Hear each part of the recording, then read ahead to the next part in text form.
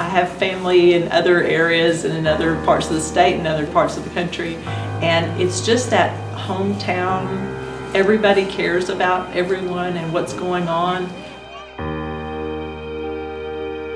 Education is probably the most important thing a child can uh, experience.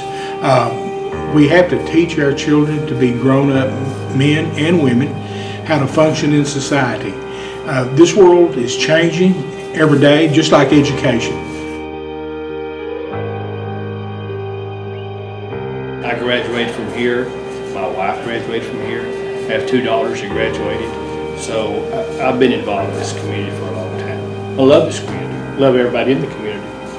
Uh, serving the kids is, I guess, kind of part of that service. So because they care, and, and I think that's what makes Kaufman, you know, Kaufman ISD, the teachers care, the parents care, there's just that involvement of wanting the very best for those involved. One of the highlights, I think, in the last few years has been the opening of our new high school. Uh, we've got new facilities uh, that's well overdue. Uh, if you look at our auditorium, it's.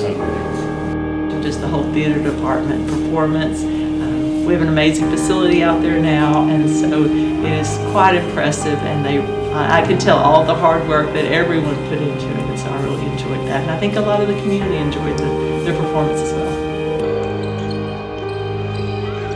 One thing that makes the Kaufman ISD great, obviously, is our students. Because without the students, we don't need teachers, we don't need administrators, we don't need school board members. They are the heart and soul of this district and any school district. We have wonderful students, we've got great teachers that work extremely hard, and we all back each other up and support each other. And we support our administration and our faculty.